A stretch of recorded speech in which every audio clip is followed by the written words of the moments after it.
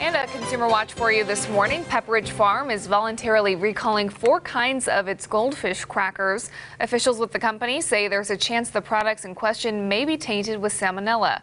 The four kinds are flavor blasted extra cheddar, flavor blasted sour cream and onion, goldfish baked with whole grain, extra cheddar and as well as goldfish mix extra cheddar and pretzel. No related illnesses have been reported so far. More information on the recall is posted on Pepperidge Farm's website. The maker of Ritz crackers has also voluntarily recalled some of its products due to a similar issue.